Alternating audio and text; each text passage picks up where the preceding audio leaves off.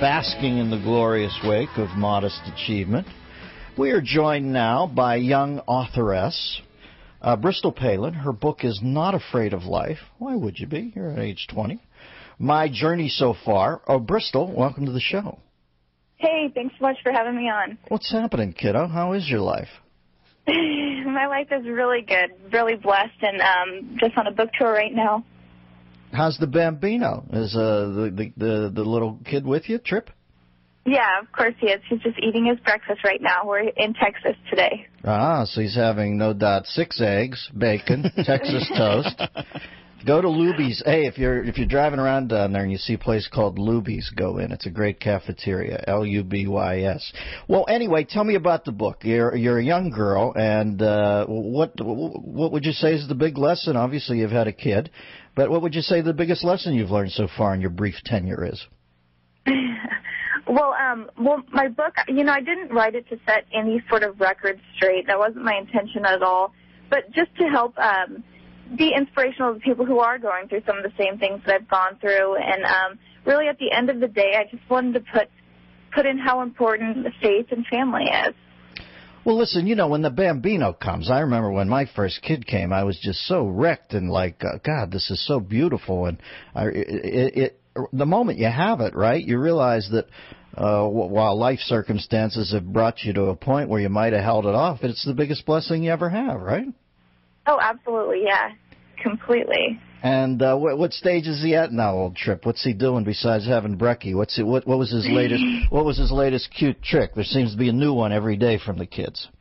Oh, absolutely. Well, he's two and a half right now, so he's just learning how to count and numbers and stuff. And um, he's a wit, so he's so smart. Well, you know what happens at three, and this will be a big one for you. They they first learn how to punch Chris Matthews in the nose.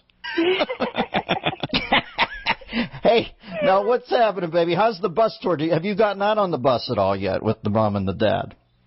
Um, I was there for the first kind of leg of it, but um, not not anytime soon, no. Well, I listen. Now you you must have gotten some of your mom and dad's. Uh, you know, in Hollywood they call it rhino skin, which means you got to get thick skin when you're in the public eye. Have you picked up some of that along the way?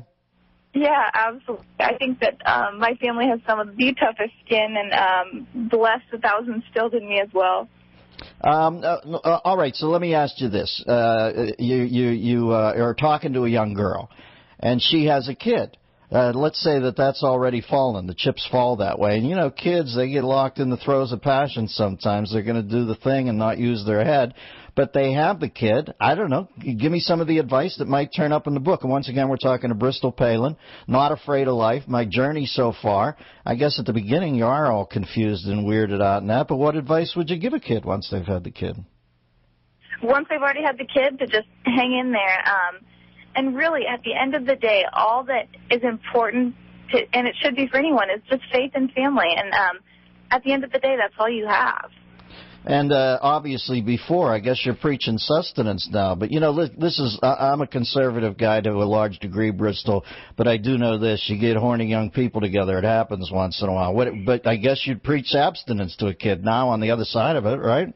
No, I, I'm not. I'm not an abstinence preacher by any means. But I'm just saying that from my own experience, um, from a failed birth control, that's the only way that you're going to prevent a teenage pregnancy. And mm-hmm. Tripp, he is the biggest blessing in my life, and I can't imagine my life without him. But um, he, I wasn't ready to have a kid. I was 17 when I got pregnant. Yeah. And other kids out there, they need to know that um, that just because you think you're safe doesn't mean you're going to be completely safe. And um, the only thing that's 100% effective is abstinence. So for me, that's my own personal choice. But um, for anyone else, they need to be extra, extra cautious with what what they do. Now I hear rumors Tripp might be the first two and a half year old on Dancing with the Stars this season. Any truth to that? And how how adorable does he look in the little Mark Ballas tuxedo? Oh, he would look adorable. but, um... Spoken like a true mom. Spoken like a true mom. That situation kid, weirdo. I got weirdo off him. Was he throwing the abs at you there? Oh no, no. The situation. He's awesome. We actually filmed a PSA together uh, for teen pregnancy prevention. So he's he's a good guy. He really is. All right. Do you think I can do more crunches than him? Yes, I'm sure you. you haven't seen my midsection, baby. All right, Bristol, good to talk to you. Not afraid of life. My journey so far in the middle of a book tour. Go get him, kiddo, and say hi to the Bambino Tripp for me. I will. Thank you so much. All right, later, Gator. And uh, I didn't even know how to be Krista. Uh, You were very sweet, very nice. I know, but I I didn't know quite how to brace her. I didn't Ah, want to you brace don't her. want to brace her on anything. Uh, Listen, you get 16 year olds together in the back seat of a car. It's a make sesh, right? I can neither confirm nor deny Well, if that's ever happened. You were the king of. What are you telling me? Huh?